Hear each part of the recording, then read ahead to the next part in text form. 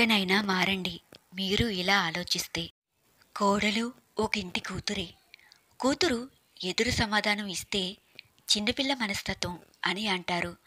అదే కోడలు ఏదైనా మాట అంటే మీ అమ్మ నీకు ఇదే సంస్కారం నేర్పిందా?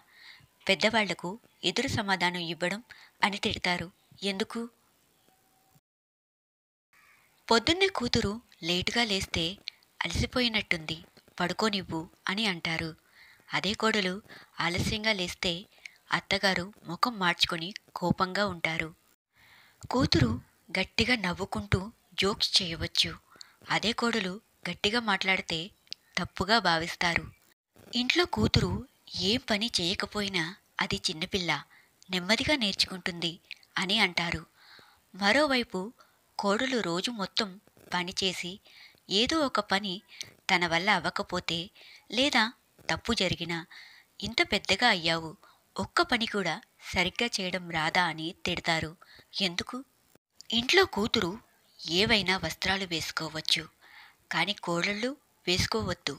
ఒకవేళ వేసుకుంటే ఇంట్లో పెద్దవాళ్ళ ముందు ఏ దుస్తులు వేయాలో లేదో తెలియదా అని అంటారు. కూతురు అత్తగారింట్లో సంతోషంగా ఉంటే ఆనందపడతారు కానీ కోడలు అత్తగారింట్లో సంతోషంగా ఉంటే మంచిగా అనిపించదు. ఎందుకు? అల్లుడు కూతురికి సహాయం చేస్తే సంతోషిస్తారు. అదే కొడుకు కోడలికి సహాయం చేస్తే జోరొంక గులం అని అంటారు. కూతురు అత్తగారింట్లో ఒక్కతే పని చేసుకుంటే చింతిస్తారు. అయ్యో నా బిడ్డ అలసిపోతుంది. అదే కోడలు రోజు మొత్తం పని ఒంటరిగా చేసినా ఏం పని చేసింది? ఏమీ చేయలేదు అని ఎగతాళి చేస్తారు. కూతురికి అత్తగారు మరియు ఆడపడుచు సహాయం చేయకపోతే కోపం వస్తుంది.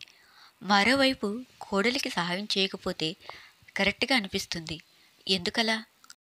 కూతురి అత్తమామలు తిడితే కోపం వస్తుంది. కానీ కోడలి తల్లిదండ్రులను తిట్టడం తప్పనిపించదు కదూ? కూతురు జాబ్ పిల్లల్ని మరియు ఇంటి పనులు చూసుకోవడం కుదరకపోతే పని మనిషిని పెట్టుకో అని సలహా ఇస్తాం. కానీ కోడలు మాత్రం జాబ్ చేసుకుంటూ పిల్లలను మరియు ఇంటి పనులను కూడా చేసుకోవ ఆదేశిస్తాం. అది ఏం న్యాయం? కూతురిని రాణిలా చూసుకునే అత్తారిళ్ళు కావాలి. మనకి మాత్రం ఇంటి పని అంతా చేసే కోడలు కాదు ఒక పని మనిషి కావాలి. ఎందుకు? మీకు గనుక నా వీడియో నచ్చినట్లయితే ప్లీజ్ లైక్ చేయండి షేర్ చేయండి సబ్స్క్రైబ్ చేసుకోండి. Thank you thank you for watching.